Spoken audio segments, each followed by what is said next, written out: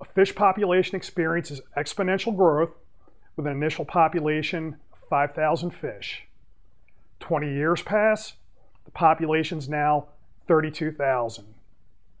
How long did it take for the fish population to double? So, exponential growth, we write down our equation. A of t equals a0 e to the constant c times t. So what do I have?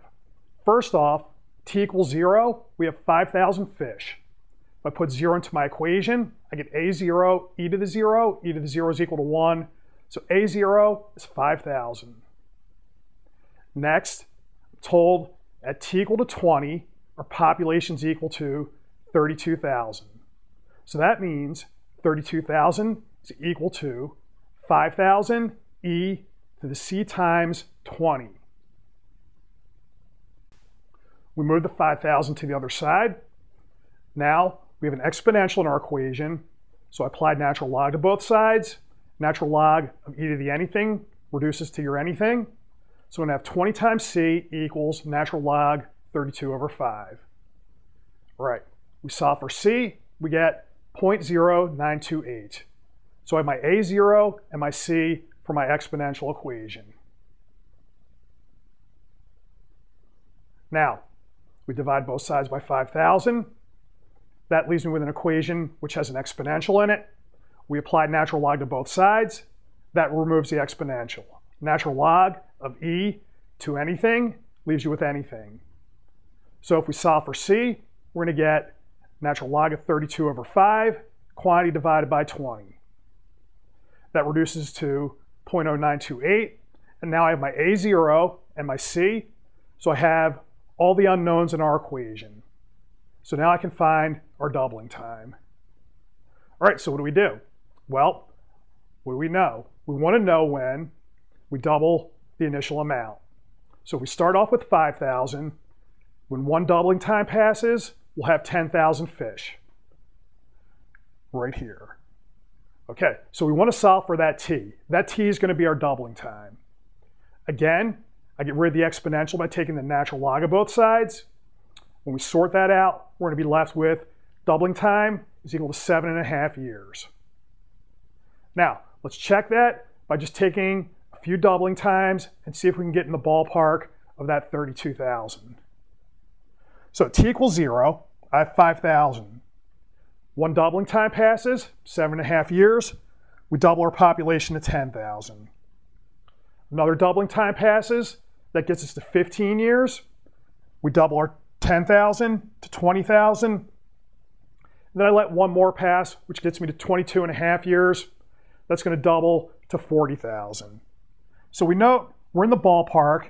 Our 20 years is between 15 and 22 and a half and our 32,000 is between 20,000 and 40,000.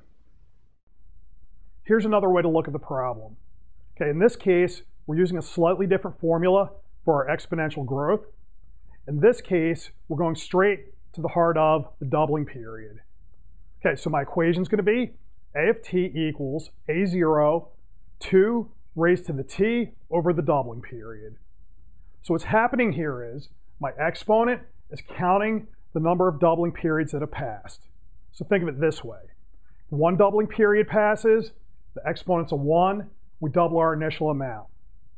Two doubling periods passed, the exponent's a 2, and then we'll have 2 times 2, our initial amount, and so on. So it's going to be the same exact formula we had before, except it just looks a little bit nicer. Now, the drawback's going to be, if you go to first principles, try to solve to get the equation using the original differential equation, it's a little bit tricky to see how the exponential comes in. So the link to our other equation is just going to be that if I take something in base 2, I go to base e by taking e to the natural log of 2 and then putting in whatever's left over in the exponent. So I haven't changed my formula here, I've just changed the way that it looks. The advantage of the new formula is I can go straight to calculating doubling period. So our first step here, we rewrite our equation, 32,000 equals 5,000, 2 to the 20 over the doubling period. So we know at time 20, we have 32,000 fish in our population. Same procedure. Divide by 5,000, take the natural log of both sides. Now note, I have base 2, but taking the natural log is going to be just fine. What happens? Well, if I have natural log of anything to an exponent, I'm allowed to bring the exponent out to the front. So the way that this gets handled is the 20 over or doubling period goes to the front, and I just have to worry about this natural log of 2. Okay, at this point, doubling period is outside of the natural log, and now it's just solving using algebra. So we're going to wind up getting our 7.5 all over again.